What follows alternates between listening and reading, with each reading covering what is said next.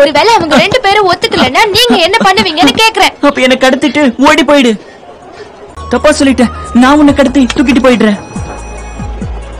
நல்ல காரமா இருக்கிற உணவை வாங்கி நான் உனக்கு தரேன். அது ரொம்ப நல்லா இருக்கும். உங்களுக்கு தெரிஞ்சது சாப்பாடு மட்டும்தான் வேற எதுவுமே தெரியாது. பேசிய எங்கம்மா போற? அமைதியான இடம் இருக்கான்னு பார்க்க போறேன். பொதுவா சொல்லுவாங்களே அன்பா இருக்கிறவங்கள பெண்களுக்கு பிடிக்கும்னு. நான் சொல்லக்கூடாதது சொல்லிட்டேனா? அட என்ன விடுங்க என்ன தொடாதீங்க. என்ன பண்றீங்க சாவேனிங் நான் நான் தான் ஒண்ணும் பண்ணலையே. எனக்கு வேண்டாம். அடம் பிடிக்காத. சாப்பிடு. நல்லா இருக்கும் பாக்குறியா?